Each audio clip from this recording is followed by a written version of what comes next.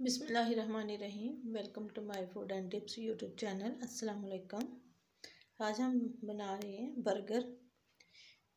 तो ये मैंने सबसे पहले आलू लिए। आलू को मैंने उबाल लिए। अब हम इसको, ये इसके साथ, कांटे के साथ इसको मैच करेंगे। ये हम सारे इसको बहुत ज़्यादा ब्रेक नहीं करेंगे। बस इसके साथ करेंगे तो बहुत अच्छे से ना बहुत ब्रीक होंगे और ना मोटे होंगे। इसके साथ हम बना के इसके कबाब बनाएँगे। कटलस भी कह लें, कबाब कह लें, ये आपकी मर्ज़ी है। देखें, आलू को मैंने भरी भरी कर लिया है, अब हम इसमें मसाले डालेंगे। ये मैंने सुरख मिर्च ली है, नमक लिया है, ये काला नमक है, ये वाइट और ये काला, ये मसाला है, पिसा हुआ मसाला मिक्स मसाले हैं, वो पीसा हुआ है। और ये है धनिया पाउडर और ये चाट मसाला, और काली मिर्च, ये सारी चीज़ें इसमें डालेंगे। मसाले आपने अपने हिसाब से लेने हैं, नमक, मिर्च, जितने आपको ज़रूरत हो उतने लेने हैं। सारी चीज़ें इसमें डालकर हम इसको अच्छे से मिक्स करेंगे।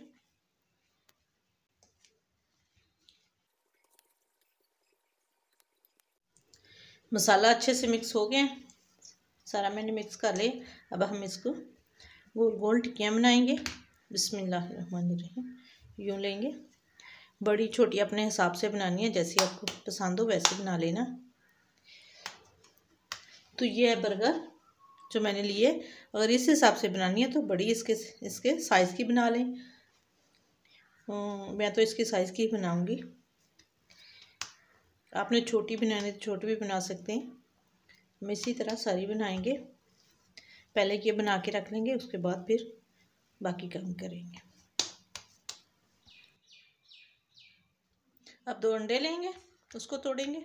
बिस्मिल्लाहिर्रहमानिर्रहीम ये इसमें डालेंगे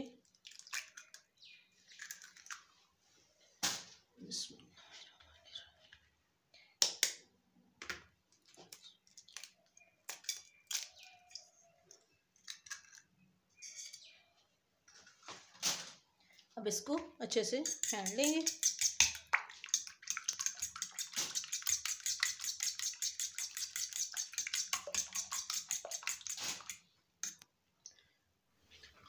चूल्हे पे मैंने पैन गर्म होने के लिए रख लिया। अब हम इसमें ऑयल डालेंगे।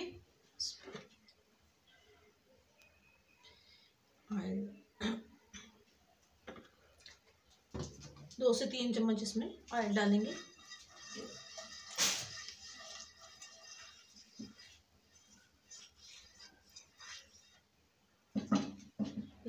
सा गर्म होने देंगे।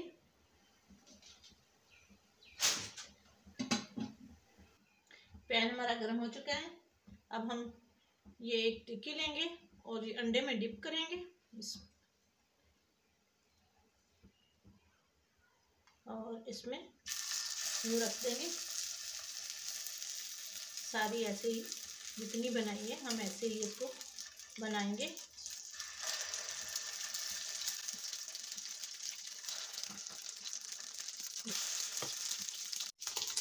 अब हम इसको कर देंगे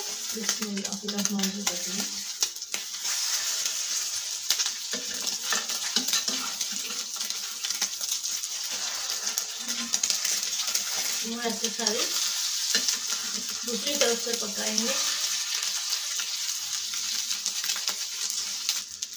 कटलस हमारे पक चुके हैं अब हम इसको निकालेंगे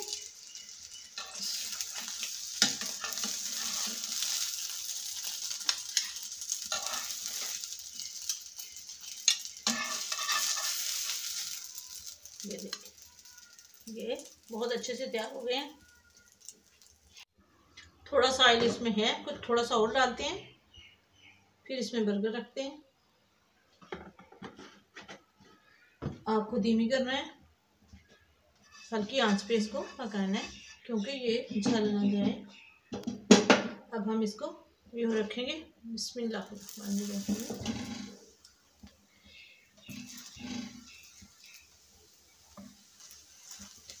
इसको थोड़ा थोड़ा सा प्रेस करेंगे।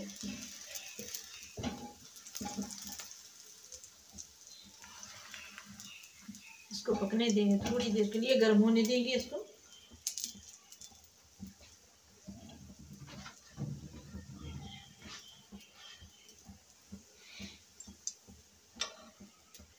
देखिए, ये गर्म हो गया है। अब हम इसको निकाल लेते हैं। ऐसे ही हम सारी गर्म कर लेंगे। थोड़ा सा आयला और डालेंगे और बाकी भी जो है, वो भी इसी तरह गर्म करेंगे। जो मेरे पास अंडा बचा था, उसको भी हम बना लेंगे। बिस्मिल्लाह। थोड़ा सा ऑयल डालेंगे। इसको थोड़ा सा घुमाएँगे सारी में आ जाए। ये अंडा इसमें डाल देंगे। इसमें इसमें मैंने थोड़ा सा नमक ही डाला है। नहीं डाली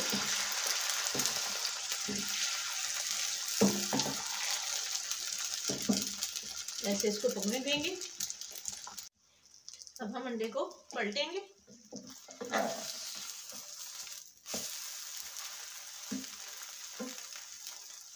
उधर से थोड़ी देर पकने देंगे, आगे हम बंद कर देते हैं, ऐसे ही पक जाएगा।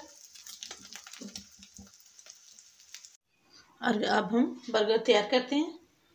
ये लेंगे, इसमें कैचअप लगाएँगे एक हिस्से में।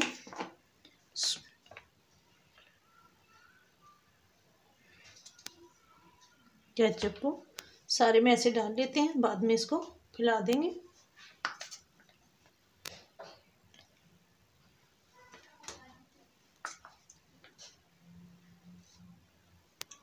ये पहले तीन बना लेते हैं, उसके बाद दूसरे बनाएँगे।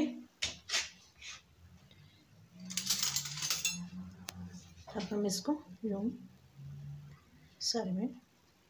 फैला लेंगे ऐसे।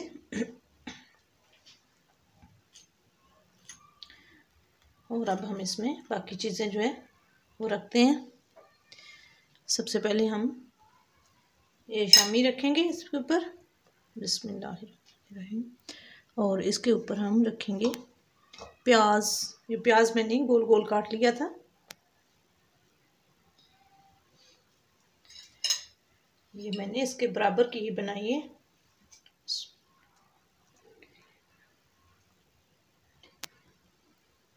और इसके ऊपर हम पहले प्याज रख लेते हैं।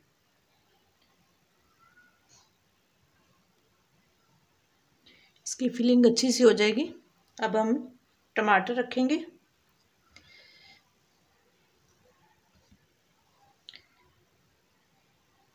टमाटर के बाद हम रखेंगे अंडा, जो मैंने बनाया है, वो रखेंगे। इसके ऊपर।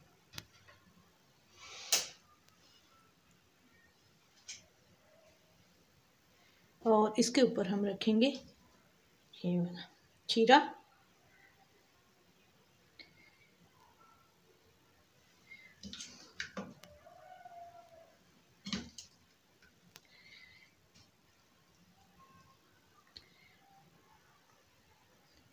और ये मैंने धनिया लिया है। इसको काटा नहीं है, ऐसे ही रखेंगे। बहुत अच्छा लगेगा।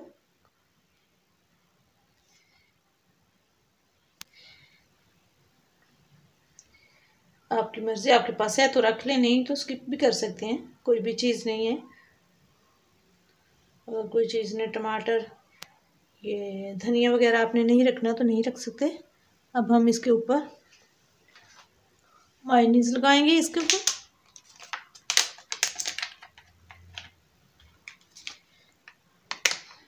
बहुत टेस्टी बनेंगे, बहुत मज़े के होंगे। अब इसको यूँ फैलाएँगे। और इसके ऊपर ये हमारा तैयार हो गया। और बाकी जो है, बाकी भी इसी तरह हम सारे तैयार करें। देखिए, बर्गर हमारे माशाल्लाह बहुत अच्छे से तैयार हो गए हैं। ये सारे चार बर्गर मैंने बनाए हैं। चारों बहुत अच्छे से तैयार हुई है। ये चीज़ें अगर कोई भी इसमें स्किप करनी हो तो आप कर सकते हैं। तो हम्म, मुझे बताएँ मेरी वीडियो कैसी लगी है? कमेंट पे ज़रूर बताना। वीडियो अच्छी लगे तो इसे लाइक करें शेयर करें मेरे चैनल को सब्सक्राइब करें। चलो ठीक है मिलेंगे अगली वीडियो पर। अल्लाह हाफिज़।